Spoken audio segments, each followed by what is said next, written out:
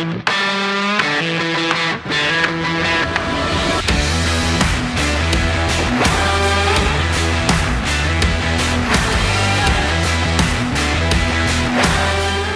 I'm Tyler Welken. I'm at Holley LS Fest, Bowling Green, Kentucky. It's a wreck GTO, 04 GTO drivetrain, so six-speed manual LS1. I just saw it on Craigslist. It was 800 bucks. It's a pretty cheap project.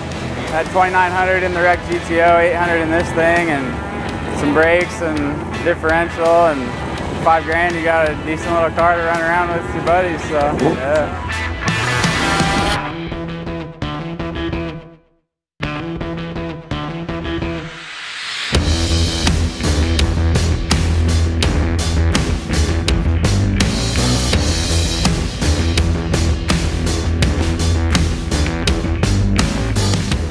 This is seriously the first time I've drag raced it since it's been together like this. And right now I want to get into the 11s. It's running 12.3 at 116. So maybe we can get there later today or tomorrow, hopefully. Need to get off the line a little better, but yeah, we'll figure it out.